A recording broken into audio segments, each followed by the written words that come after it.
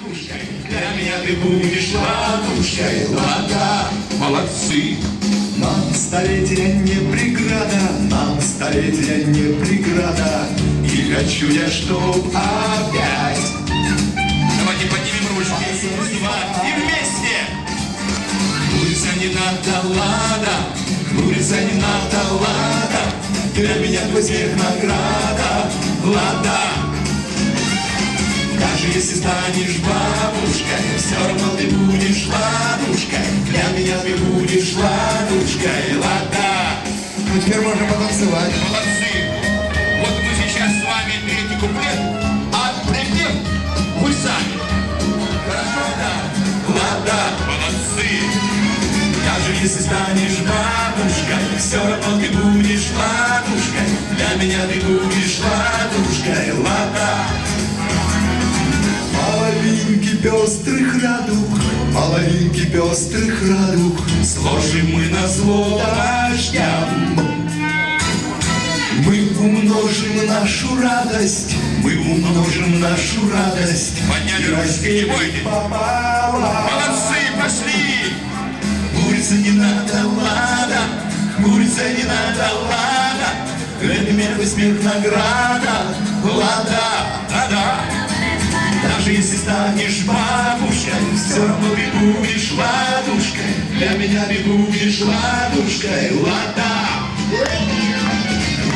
Надо, лада. Давайте, молодцы! Надо, лада. Для меня смех награда, лада. Даже если станешь бабушкой, все равно ты будешь ладушкой. Для меня ты будешь ладушкой, лада. Ура! Ну, молодцы. Молодцы. Ну, вы не стесняйтесь. Народный депутат Украины, наш земляк, человек, который сделал себя сам. От села до Верховной Рады, пройдя школу жизни, воспитание в детском доме и, самое главное, оставшись нормальным, твердым мужиком. Сказал, сделал. Пообещал, подарил. А если не подарил, то сделал так, чтобы вам будет житься еще лучше. Пожалуйста, Олег Валерьевич. Вас встречают Белокуракина.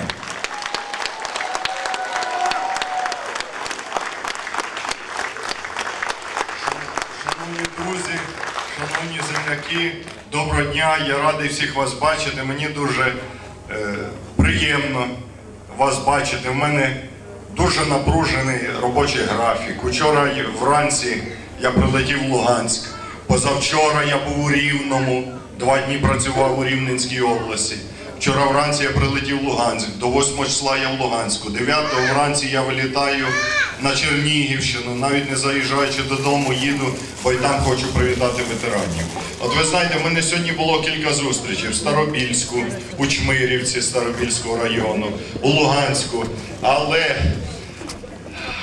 але ніде мене так щиро і е, приємно не зустрічають, як на Білокураківщині. Спасибо щоб був нормальний участок, щоб міг до вас доїжджати не тільки депутат Верховної Ради Ляшко, а й кожен з вас міг їздити по нормальній дорозі.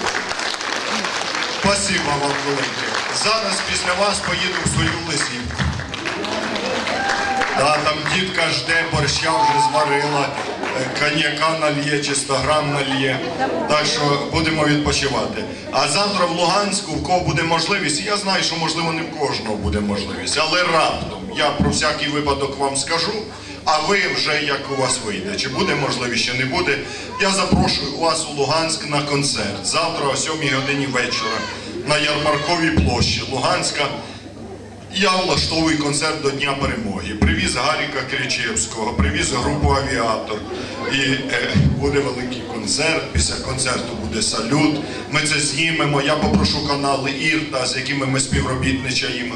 Ми знімемо цей концерт. Той із вас, хто не зможе приїхати на концерт, ми покажемо вам його в запису, щоб у вас була можливість його дивитися і щоб ви так само відпочивали.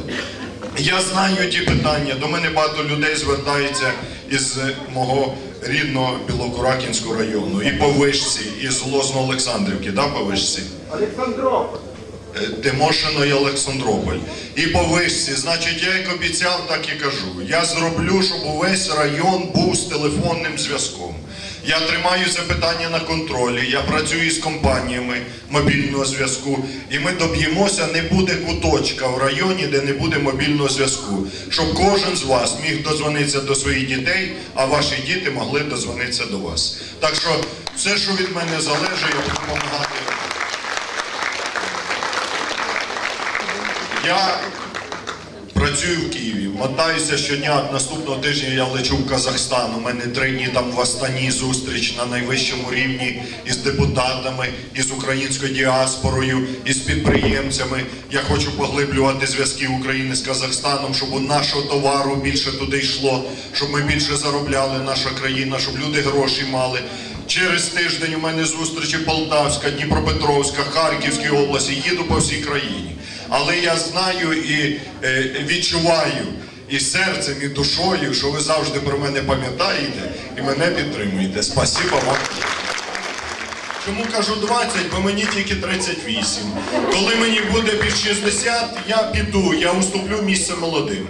Я не буду трибатися зубами, руками, ногами, як ото сидять у Верховній Раді, їм по 70, по 80 років, вони там сидять, замість того, щоб ваші діти туди приходили, замість них.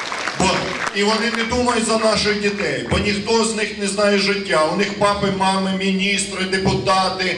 Бог знає хто. Вони що, корів в селі пасли, чи вони е, свиней годували, чи вони із тяпкою по буряках кілометрів два туди, е, два назад ходили, чи картоплю обробляли. Тому в наших магазинах єгипетська картопля замість луганської. Тому у нас китайська гречка, коли я в дитинстві по Луганщині в Греції бігав.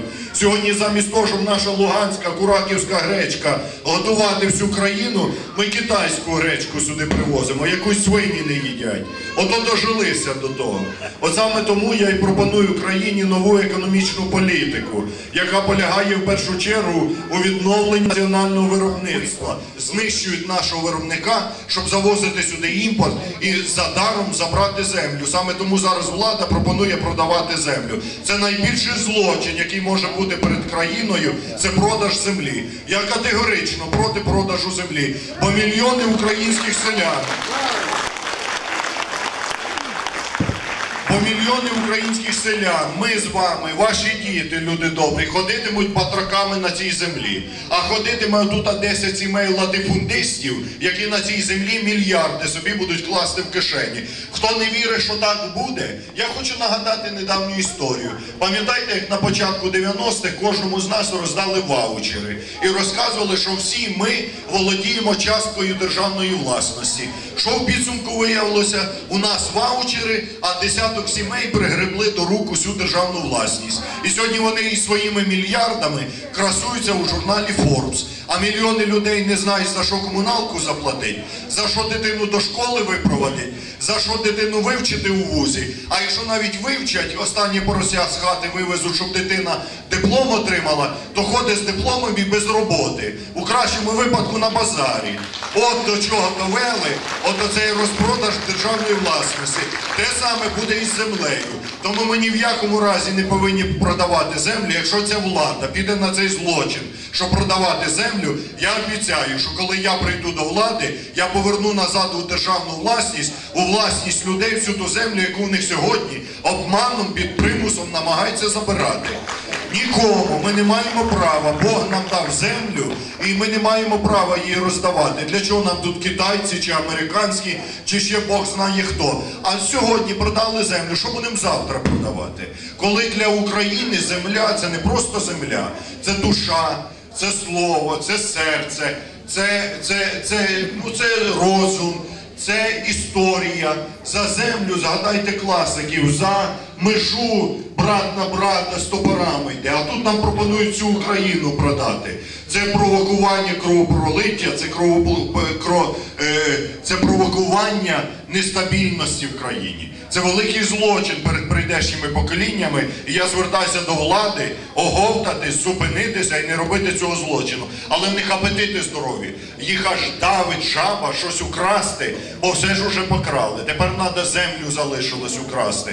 Тому буду робити все від мене залежне, аби цього не трапилося. І головне. Важливо ж не просто як собака на сіні сидіти на тій землі, нічого не робити. Я нова економічна політика, яку я пропоную, передбачаю в першу чергу відродження сільськогосподарського виробництва. Для мене село дуже близьке.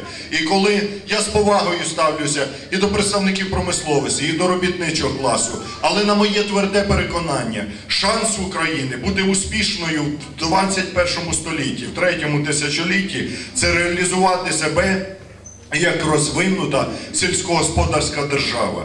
Ми, маючи такий потенціал, правильно його використовуючи, ми на ньому вирішимо всі проблеми країни. Е, Підняти сільське господарство це надзавдання, над яким має працювати держава, над яким має працювати влада. І я, як депутат Верховної Ради, як майбутня моя політична партія, яку поведу на вибори, буду в першу чергу приділяти увагу підтримці і розвитку сільського господарства. Для цього потрібно кілька дуже простих, але дуже важливих речей, які сьогодні спеціально не робляться для того, щоб не дати піднятися сільському господарству. Це кредитна політика. Мають бути доступні кредити для сільгоспвиробника. Не під 20-25%, як дають сьогодні, а в усьому світі фермери, колгоспники отримують колективні господарства в Ізраїлі. Я на Пасху був в Ізраїлі, їздив на святу землю, поклонився храму гроба Господнього. Попросив, до речі, за всіх моїх земляків білокуракінців у Господа здоров'я, щоб ви це знали. І свічку поставили е, у храмі гроба Господнього. Так отам фермери 5% беруть кредити під 5%, а у нас під 25%. А потім ми дивуємося, що наші селяни не можуть господарювати на своїй землі, бо це неможливо господарювати. І треба тим людям, які сьогодні господарюють і 300 мільйонів євро, купив квартиру в Лондоні. 300 мільйонів євро це 3 мільярди гривень. Скільки за 3 мільярди гривень можна було б в Україні побудувати житла для молоді, яка сьогодні сотні тисяч тиняються без власного житла над головою? Скільки за 3 мільярди євро можна було створити нових робочих місць? Немає цього. Зате квартиру купили, яку умеблювали і добре себе почувають. За які гроші? За ті, які заробили в Україні, які вивели безплатне оподаткування. А з малого бізнесу деруть три шкури, а із селянина деруть три шкури, а з робітника на заводі, і з вчителя, з лікаря податки беруть по повній програмі, а з олігархів податків не беруть. Отака податкова система в країні. Для того, щоб вирішити проблеми країни, треба змінити податкову систему, перекрити ті дірки, які дозволяють олігархам виводити мільярди, натомість знищуючи малий і середній бізнес. Третій момент, який вкрай важливо розв'язати для вирішення проблем країни, це митно-тарифна політика, аби обмежити доступ неякісного імпорту до країни, щоб на українських полицях, в українських гастрономах, магазинах, так от до тих пір, бо вони захищають свій ринок. А ми відкрили свій ринок. І до нас завозять все, що завгодно, а наші люди не можуть цього продати. Я два дні тому був у Рівному. Можливо, хтось із вас читав, чув. Я зайшов в супермаркет, побачив там єгипетську картоплю. Купив цю єгипетську картоплю і тут же в універсамі на ній потоптався, знищив цю єгипетську картоплю. Я це був, це був крик душі. Чого? Єгипетська картопля лежить 12 гривень кілограм, український буряк 17 гривень кілограм.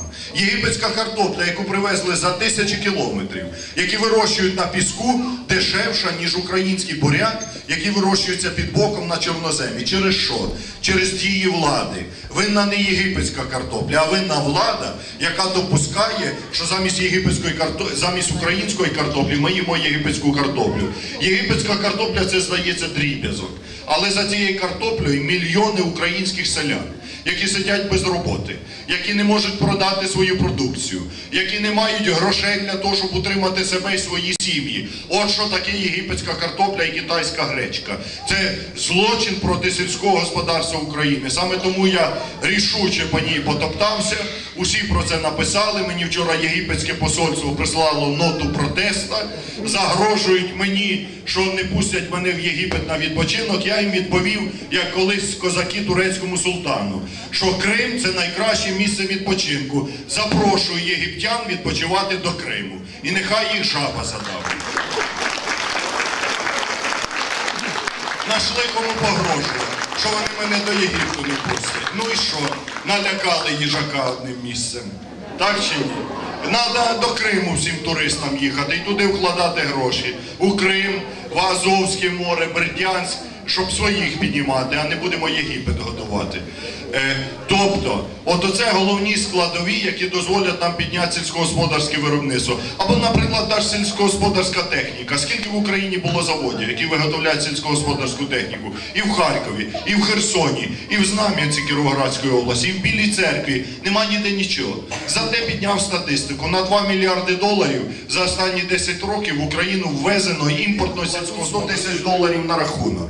І коли ця дитина виростає, у неї мільйон доларів на рахунку, і дитина із цими грошима облаштовує своє майбутнє. Що у Лівії є нафта? Чому ми не можемо в Україні зробити так само? Так от я пропоную законопроект, який би передбачатиме на кожну новонароджену українську дитину 100 тисяч гривень на рахунок до досягнення дитиною 18 років. Пам'ятаєте, при радянській владі був оцей вклад до досягнення повноліття. От я пропоную відновити цю програму з державного бюджету, не виплачувати кошти на проїдання, а на рахунок дитини, і нехай ці гроші лежать під проценти, поки дитині не виповниться 18 років. Виростає дитина 18 років, мільйон гривень має, і з цими грошима може житло собі купити, може за навчання заплатити, може облаштувати своє майбутнє. У нас для цього є всі гроші. Треба їх не проїдати, треба їх не розкрадати на міліцію, на прокуратуру, на президента, на Верховну Раду, на все гроші є. На житло для молоді грошей немає. На те, щоб дітей підтримати з малозабезпечених сімей, на це грошей немає. І ще один законопроект, який я зареєстрував в Верховній Раді. І ближчим часом буду доповідати. Сьогодні жодної копійки не виплачується на повернення вкладу людям. Я пропоную ще в цьому році передбачити 500 мільйонів гривень на виплату вкладів. У першу чергу на виплату вкладів людям похилого віку. Хто вже помер, не дочекавшись вкладу, щоб повернули ці гроші їхнім спадкоємцям. На кожну особу, на кожну сім'ю мінімум по 5 тисяч гривень, щоб повернули грошей. Я порахував, що в цьому році на це можна виплатити 500 мільйонів гривень. Нинішній склад Верховної Ради цього очевидно не буде підтримувати. Але кожен з вас зато побачить. Як вони дурять вам, розказують золоті гори, обіцяють, коли доходить мова до голосування, як вони не голосують. Як ото Чечетов на словах вболіває за народ, а на ділі, коли доходить до голосування, отак махає рукою, як болванчик, замість того, щоб піднімати її отак. І показувати, що треба голосувати за законопроекти, які покращують, полегшують долю людей. От я сподіваюся, що ми приймемо цей закон. Якщо не приймемо, вода камінь точе. Коли я приведу до влади свою команду з вашою допомогою, допомогою Божою помічю, ми обов'язково будемо вирішувати ці питання. Це тільки деякі кроки, які я роблю як депутат Верховної Ради, і які спрямовані на вирішення проблем, який вас пам'ятає, який пам'ятає свою батьківщину, який приїжджає, що від мене залежить.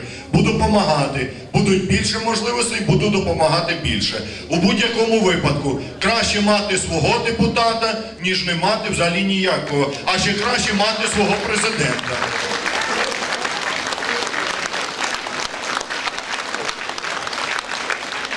І, і, і на закінчення. І на закінчення свого виступу, бо я хочу, щоб ви насолодилися виступом наших шанованих друзів, артистів, які чудово співають, які дають відпочинок душі. Е, Ми перед великим святом, днем перемоги у Великій Вітчизняній війні.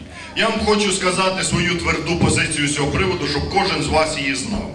Бо сьогодні в країні дуже багато навколо цього політики.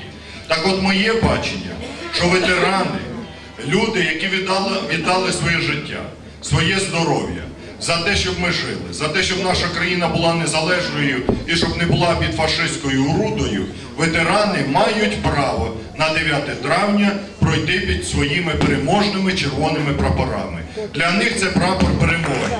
І ніхто не має права позбавляти їх цієї можливості. Прапор, який здолав фашист, кажуть червона ганчірка. Я думаю, що це прояв неповаги до ветеранів, до всіх тих, хто за нас боровся. І тому я хочу привітати вас із цим великим святом, Днем перемоги. Це е, перемога для всіх нас, для всіх народів колишнього Радянського Союзу. Побажати вам всього найкращого, здоров'я. Я зараз поїду вітати ветеранів, тих, які не змогли прийти до клубу. Приїду до них додому, привітаю їх. Я те саме вчора в Луганську робив. Ходив додому до Матросова, генерала Матросова, колишнього начальника училища штурманів Луганського. Йому 89 років, він лежачий, не зміг прийти. Я до нього прийшов додому, привітав. Сьогодні я от у Старобільську до п'ятьох ветеранів зайшов. Зараз в Білокуракіно піду. І я хотів би вам сказати слова свої вітання до свята перемоги. Вони зараз звучать по українському телебаченню, хто чує мої вітання. Зараз ось будуть ближчим часом звучать по українському радіо. А для вас, шановні мої земляки, я хотів їх, щоб ви їх не з роликів побачили по телебаченню чи по радіо, а почули особисто, щоб ви в черговий раз переконалися, що ваш Ляшко і суфльорів з моніторів не читає, а знає все на пам'ять. Так от. Так от мої вітальні слова в першу чергу ветеранам і всім нам, громадянам, які шанують і цінують цих людей і пам'ятають про ту велику перемогу, яку ми здобули 9 травня в травні 1945 великим і трагічним тим рокам, тим славним командирам і бійцям, і маршалам, і рядовим вклонімося і мертвим, і живим. Навколо них не треба ворожби. За перемогу єднаймося, брати. Ваш Олег Ляшко.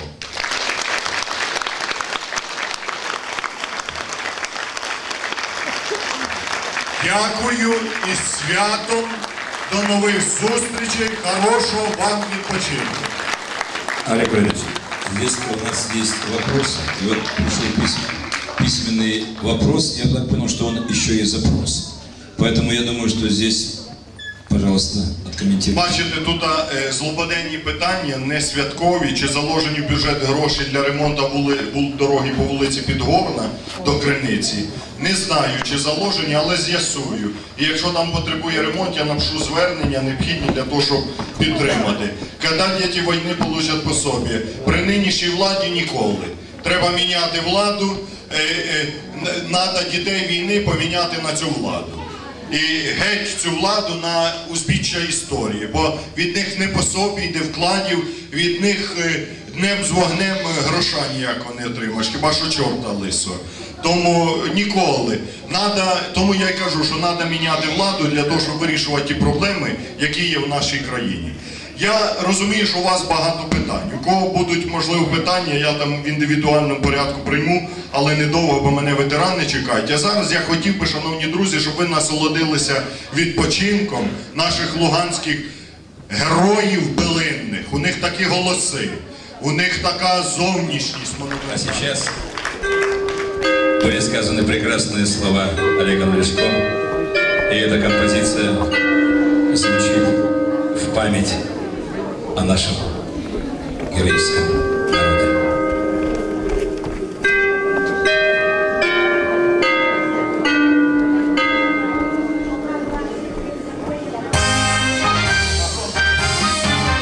Не забываем те грозные года, Когда кипела волжская вода, Земля в ярости огня, И не было ни ночи, ни дня. Сражались мы у волжских берегов, На волну шли дивизии врагов. Но выстоял великий наш солдат, Но выстоял бессмертный Сталинград.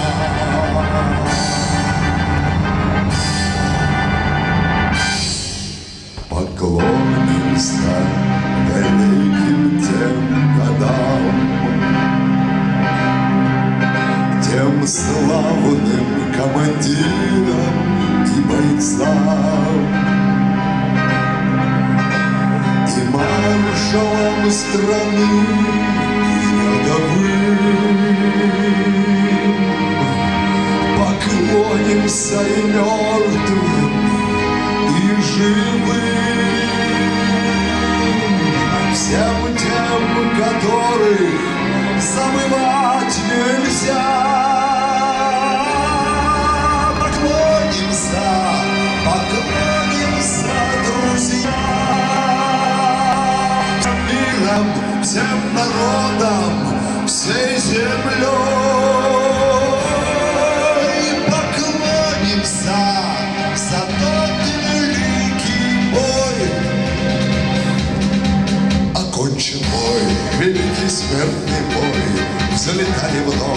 Салюты над Москвой.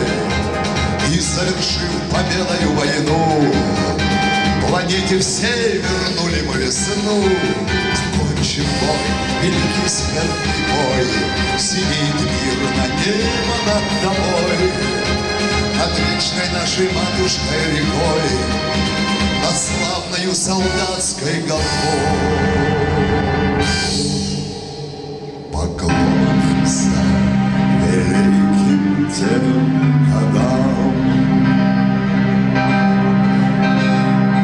Славным командирам и бойцам, И маршалам страны и рядовым. Поклонимся и мертвым,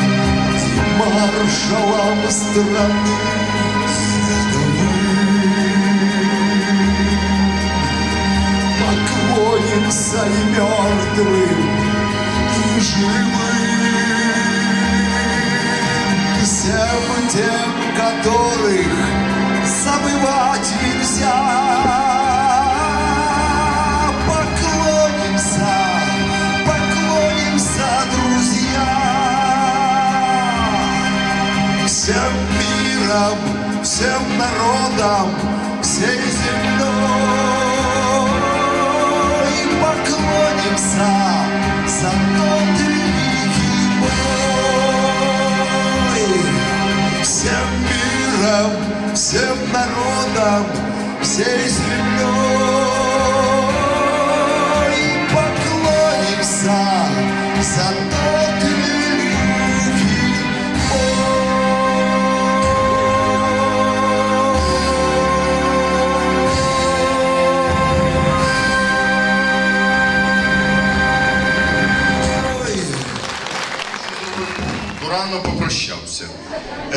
Сергію, шановний, давайте, ну чого ж ми луганцям співаємо пісні, а білокуракінцям не можемо проспівати.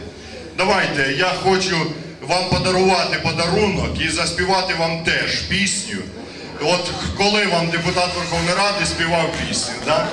а ми заспіваємо, щоб ви пішли, бо артисти це їхня робота співати, а в депутата це хобі. А ви чуєте, який в мене голос? От я хотів би, щоб ми разом з вами, так як е, яку ми можемо, ми можемо е, Марка Бернеса Журавлі. Є в нас?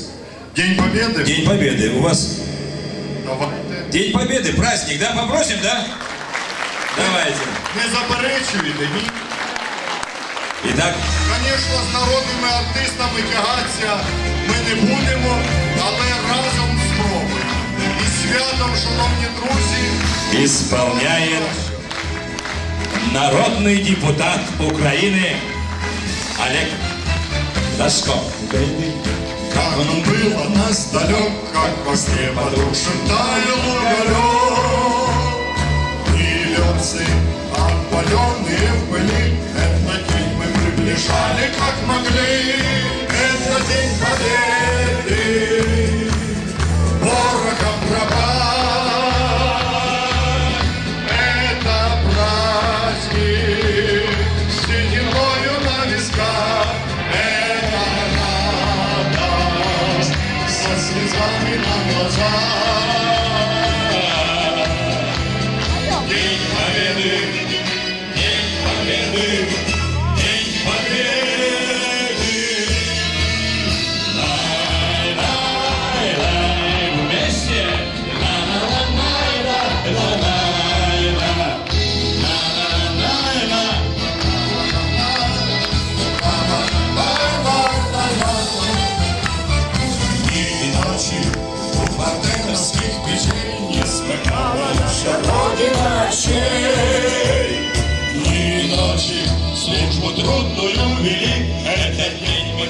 приближали, как могли вместе. этот день победы,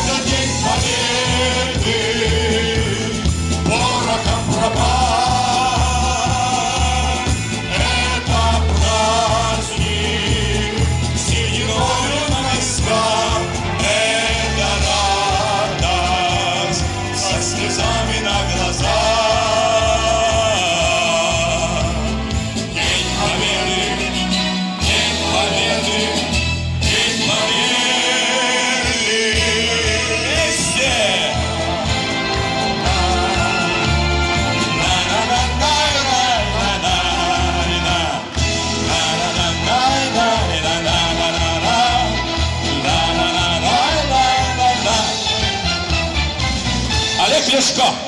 Днем Побед! Я не сразу сказал, что человек, который и детдом прошел, и музыкальное образование имеет. И знаете, самое главное, ведь в жизни что? Наш парламент превратился в оркестр, где, а вы, ребята, как не садитесь, все, музыканты не годитесь. Нам нужны те народные депутаты, которые знают партитуру и как правильно играть на инструментах, которые приносят радость людям. Олег Лешко, ваш Олег Лешко. Спасибо, Олег Ильич. Спасибо. Спасибо. Я вернусь весенней ночью Ты меня не забывай Ты меня не забывай Упадет снежинка с неба Я вернусь январским снегом Ты меня не забывай. Милый друг, не скучай. Я вернусь, ты так и знай. Может днем, а может ночью Ты меня не забывай. Милый друг, не скучай. Я вернусь, я знаю точно. Может днем, а может ночью Ты меня не забывай